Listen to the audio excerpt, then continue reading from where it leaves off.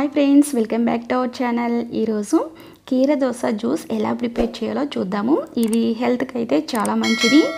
ఈ జ్యూస్ అనేది ప్రిపేర్ చేస్తూ దీనివల్ల కలిగే ప్రయోజనాలు కూడా తెలుసుకుందాము. ఇక్కడ నేను వన్ గ్లాస్ జ్యూస్కి చెప్తున్నాను. ఇక్కడ మనకి వన్ గ్లాస్ జ్యూస్కి ఇలా హాఫ్ కీర దోశ అయితే సరిపోతుంది.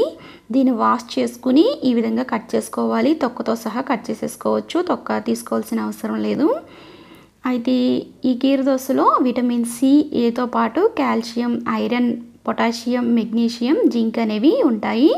ఇందులో కొలెస్ట్రాల్ అనేవి ఉండవు.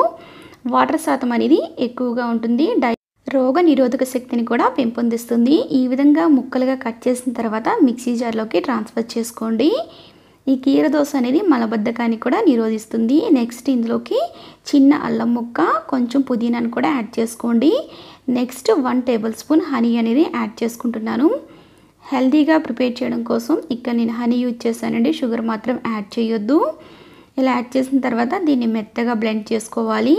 ఇలా బ్లెండ్ చేసిన తర్వాత కొంచెం వాటర్ యాడ్ చేశాను. మరి ఎక్కువ అవసరం లేదండి. కొంచెం వాటర్ యాడ్ చేసి బ్లెండ్ చేసుకోవాలి.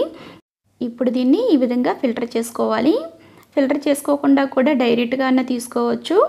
ఒకవేళ మీరు డైరెక్ట్గా తాగలేము అనుకుంటే ఈ విధంగా ఫిల్టర్ చేసుకోండి లేదంటే డైరెక్ట్గా తీసేసుకోండి. డయాబెటీస్ వల్ల అయితే ఈ జ్యూస్ తీసుకోవడం వల్ల షుగర్ లెవెల్స్ని కంట్రోల్లో ఉంచుకోవచ్చు. నెక్స్ట్ హాఫ్ టేబుల్ స్పూన్ నిమ్మరసాన్ని యాడ్ చేసుకోండి. దీన్ని ఒకసారి బాగా కలుపుకోవాలి. ఇలా కలిపిన తర్వాత దీన్ని ఒక గ్లాస్లోకి సర్వ్ చేసుకోవడమేనండి. ఇందులో కొలెస్ట్రాల్ కానీ ఫ్యాట్ కానీ ఉండదు కాబట్టి బరువు తగ్గాలి అనుకునే వాళ్ళకి ఈ జ్యూస్ అనేది చాలా బాగా యూస్ అవుతుంది. కీర దోశ జ్యూస్ రెడీ అయిపోయింది. దీన్ని మార్నింగ్ టైం తీసుకోండి.